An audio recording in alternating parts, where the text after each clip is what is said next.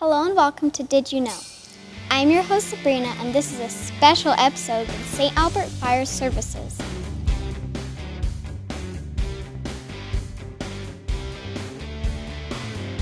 Did you know that St. Albert has had its own fire services since 1905?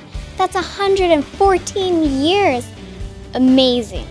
This is firefighter Connor, and he will be showing me around today and explaining what it takes to be a firefighter. How long have you been a firefighter? I've been a firefighter for almost three years now. Did you know that there are three fire stations and 110 fire and emergency medical services personnel for St. Albert? And did you know that on average, the fire service deals with approximately 7,700 incidents per year? I'm here with Jeff in the dispatch center. Okay, so this is where we get all our 911 calls or any calls for public works that are after hours or whatnot to dispatch out all our fire trucks and uh, ambulances. So right here you can see the map of the city. We have all the units and all the stations. Um, you can see where they're at at all times, all of our fire trucks. Um, a call comes in, we'll ask them questions as to what locations they're at, what's the nature of their uh, their call, and then dispatch out the trucks accordingly from there. So then when the call comes in, send over fire department. Perfect. Thank you very much. Yeah, use all.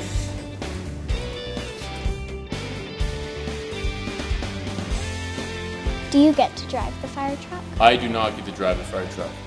Uh, you uh, depends about basically your level of training. So generally, the longer you've been here, uh, you get more additional training. It's a big responsibility to drive the fire truck Mm-hmm.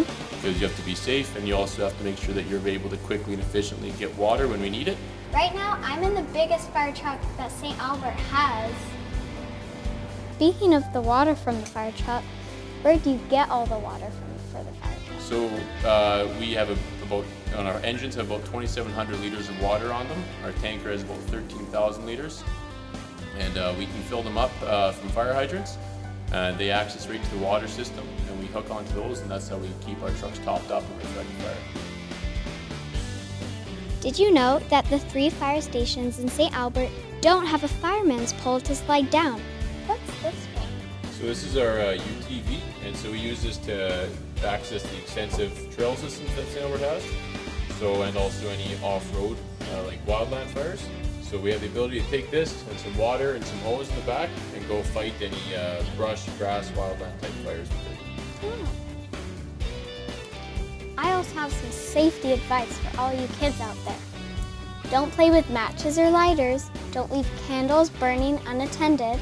Have an escape plan with your family at home, just like school. Stop, drop, and roll if your clothes catch on fire. Get low and get out of there if there's fire or smoke. And call 911 once you are safely out. Joke of the day What kind of crackers do firefighters like in their soup? I don't know. Firecrackers. Did you know that firefighters have less than two minutes to get dressed and prepared to leave for a fire? I don't think my sister could ever be a firefighter. Only two minutes to get dressed and ready? That's crazy fast. No time for hair or makeup. Uh oh, there's the alarm. Let's see if Connor can get ready in under two minutes.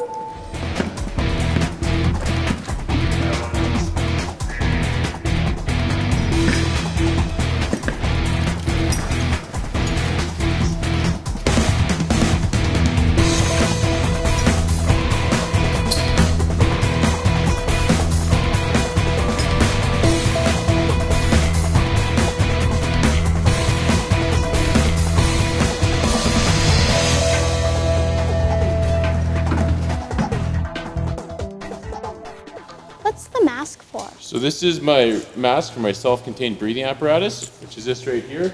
It's a compressed air cylinder, which gives us about 45 minutes of breathing air in a fire. So when we get close and we're going to go into an environment that's called immediately dangerous to life or health, or an IDLH environment, we put this on. So it's like this.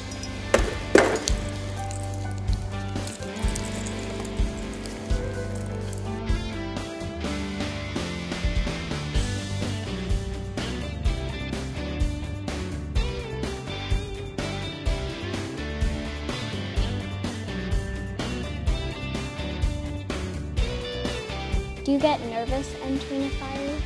Sometimes, yeah, it's uh, it can be a dangerous job, so sometimes you get nervous. But at the same time, you're trained and you're there to help people, so you kind of put that to the back of your mind and you just do your, do your job.